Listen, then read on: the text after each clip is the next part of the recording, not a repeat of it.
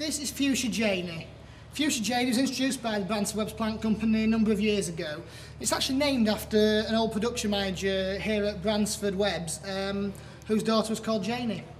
It's a lovely hardy fuchsia, in my opinion probably the most floriferous of all hardy fuchsias.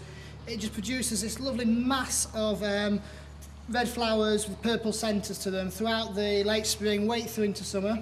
As I say, it's hardy down to about minus five, minus six. Like all hardy fuchsias, in the first couple of years, when it gets to the autumn time, give it a good strong mulch just to protect that um, crown through the first years until it gets established.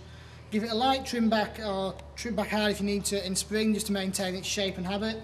It's only going to get to about sort of 45 centimetres, that's 18 inches high, with a similar sort of spread, so it does really well in a container on the patio as well.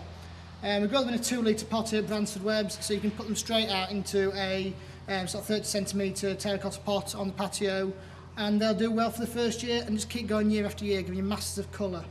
Easy to maintain. Just to keep that flowering going as well, I will give it a good feed, um, something like um, Fostrogen or Miracle Grow, um, a nice high sort of potassium food just to um, benefit those flowers through the summer months. But it really is a plant to have in your garden. Fuchsia Janie.